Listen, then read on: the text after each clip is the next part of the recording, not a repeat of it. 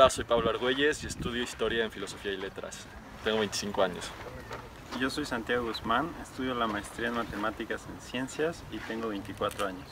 Yo soy Santiago Iseta, este, estudio la licenciatura en Geografía, también en Filosofía y Letras y tengo 23 años. Bueno, Al Niágara en Bicicleta es un proyecto que empezamos nosotros tres a principios de este año con el objetivo de llevar este, nuestra, nuestra experiencia como deportistas más allá de las competencias, buscando hacer una travesía que conecte a tres países y que trate de encontrar las similitudes en las personas este, en Norteamérica. El 11 de junio vamos a partir de Nuevo Laredo, nos vamos a trepar a las bicicletas para 35 días después llegar a las cataratas del Niágara.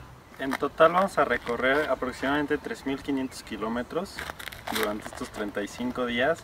Eh, la primera semana que vamos a cruzar Texas esperamos que sea la peor de todas en cuanto a calor. también por esa zona atravesamos pues, una zona de tornados.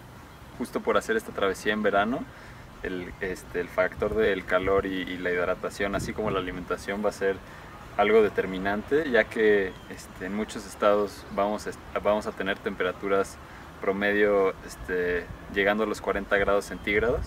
Yo en este viaje no, no voy a andar en bici, este viaje yo voy a manejar porque, por un lado para cuidarlos a ellos, pero también porque yo soy fotógrafo y, y parte de nuestra misión es hacer un documental, documentar esta travesía, tomar fotos y videos para después hacer algo más con este viaje. Nos conocimos gracias al, bueno, nuestra amistad se reforzó gracias al triatlón y pues ahora en esta etapa para prepararnos dejamos la natación, dejamos el atletismo y pues nos dedicamos a pedalear como seis días a la semana, complementándolo con algo de gimnasio, remo bajo techo, este, y son jornadas de entrenamiento como de cuatro horas al día más o menos.